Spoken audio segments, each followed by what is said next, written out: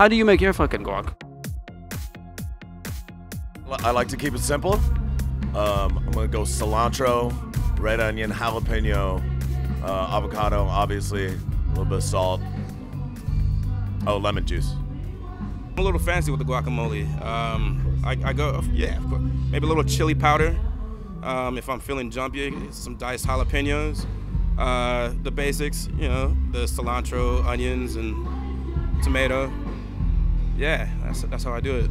Like, well, guacamole is made up of um, avocados, lime juice, probably coriander. You call that cilantro over here. Uh, some salt and some pepper, and some people probably put some chili in it because everybody over here is insane about their chili. How do you make your fucking guac?